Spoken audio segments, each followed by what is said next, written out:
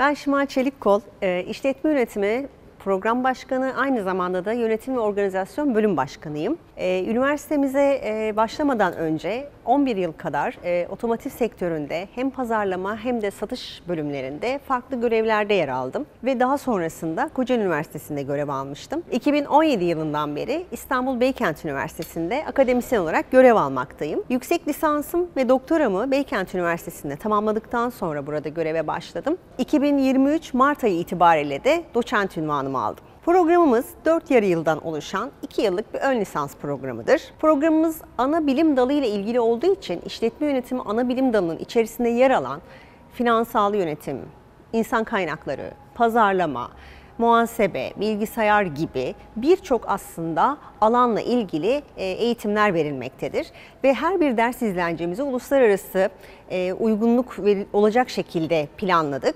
E, öğrencilerimizin üniversite içerisinde e, orta düzey bir işletme yöneticisi olabilecek yetkinliğe kavuşmaları için çaba sarf etmekteyiz. Staj öğrencilerimiz için mezun olabilmeleri için zorunludur.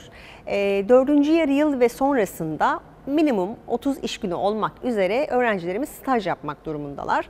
Staj yaparken aslında aynı zamanda hem ilgi alanlarını görmek ve anlamak hem de bilgi ve yetkinliklerini arttırma imkanını da elde etmiş oluyorlar. İşletme yönetimi programı bir ana bilim dalı olduğu için çok fazla aslında e, geçiş yapabilecekleri bölümler bulunuyor öğrencilerimizin. Bunlardan birkaç tanesine örnek vermek gerekirse bankacılık, uluslararası ticaret ve lojistik, yönetim bilişim sistemleri, uluslararası ticaret gibi bölümler e, geçiş yapabilecekleri bölümler arasında yer almaktadır. Öğrencilerimiz hem kamu hem de özel sektörde e, pazarlama, finans, muhasebe, e, insan kaynakları gibi birçok departmanda iş bulabilirler. Çünkü işletme yönetimi gerçekten iş bulma anlamında çok geniş bir yelpazesi olan bir bölüm.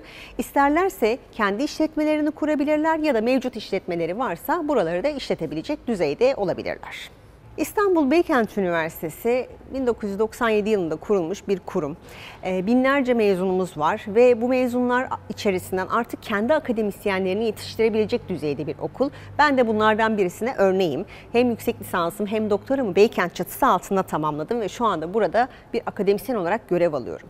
Bununla birlikte hem öğrenci kulüplerimiz hem kariyer günlerimizde öğrencilerimizi sektörle e, işbirliği kurarak aslında bu köprüyü kurarak devam ettirme gibi bir avantajımız da var. Ve ayrıca her bir öğrencimizin hem staj süreçlerinde hem de dış paydaşlarımız aracılığıyla sektörde kariyer planlamalarına yardımcı oluyoruz. Tüm öğrencilerimizi İstanbul Beykent Üniversitesi'ne bekleriz.